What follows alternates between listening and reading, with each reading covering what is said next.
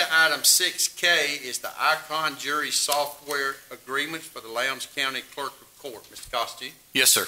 Chairman, Commissioners, uh, thank you for adding this item this evening. On September 24th, you guys unanimously approved the purchase of the jury software. However, the contracts were not available at that time. The contracts are presented here There's, this evening. There's two of them, one that covers the licensing and one that covers the services.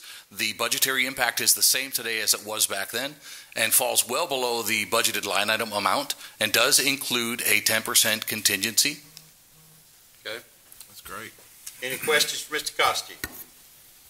All right, thank you, Mr. Costi. Hearing none, I'll entertain a motion. I move we approve. Okay, we have a motion to approve the Second. request. We have a second. Second. We have a second. Any discussion? Hearing none, all in favor signify by aye. Aye. Any opposite or any opposed? Hearing none, the motion carries.